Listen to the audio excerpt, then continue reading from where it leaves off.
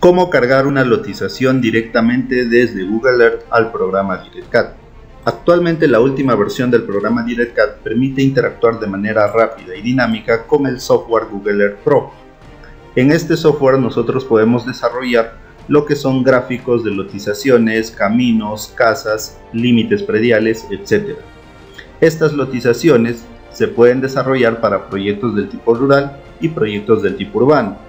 La herramienta que vamos a utilizar para la gráfica de estos elementos van a ser agregar ruta para poder definir las carreteras y vías principales o secundarias y agregar polígono para poder definir lo que son los lotes o los límites prediales.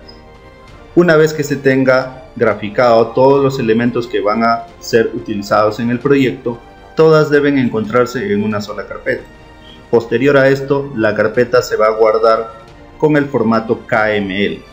Luego nos ubicamos dentro del programa y vamos a ubicarnos aquí en la parte superior izquierda y le damos a encargar mapa de lotización. Aquí debemos seleccionar el archivo donde estamos guardando y seleccionar el tipo de archivo que vamos a cargar, que son datos de Google Earth en formato KML. Le damos en seleccionar y abrir.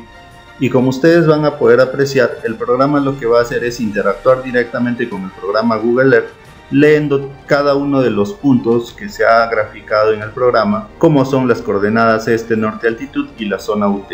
Le damos en aplicar y como pueden apreciar se grafica directamente en el programa en el entorno gráfico de DirectCAD todos los elementos que han sido graficados previamente en el software Google Earth Pro.